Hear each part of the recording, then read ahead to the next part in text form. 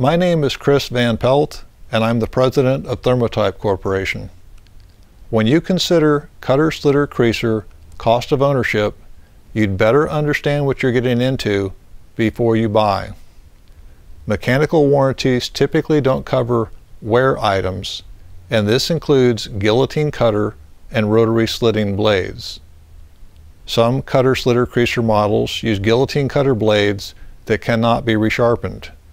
Their design requires that a module be replaced when the guillotine blades are damaged or dull at a customer cost of around $1,800. By comparison, Thermotype heavy-duty guillotine cutting blades can be resharpened. Customer cost for an exchange set of sharpened guillotine blades is only $210. One cutter slitter creaser brand has a fragile slitting blade design that is prone to chipping when a paper jam occurs.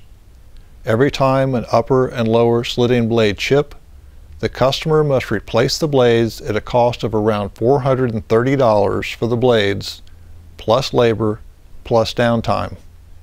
If chip blades are replaced and there's another paper jam, the replacement blades may be chipped.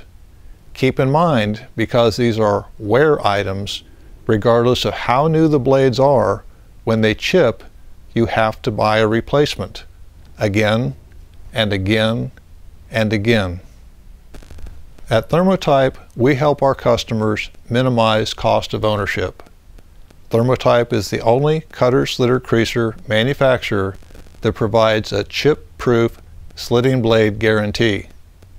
If a customer has a paper jam and a slitting blade chips, Thermotype will replace the chip blade free of charge. How can Thermotype afford to offer this guarantee? The answer is simple.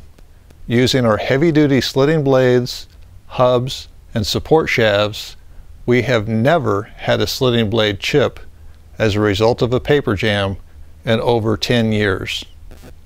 Don't let a weak blade design and outrageous replacement blade costs chip away at your profits.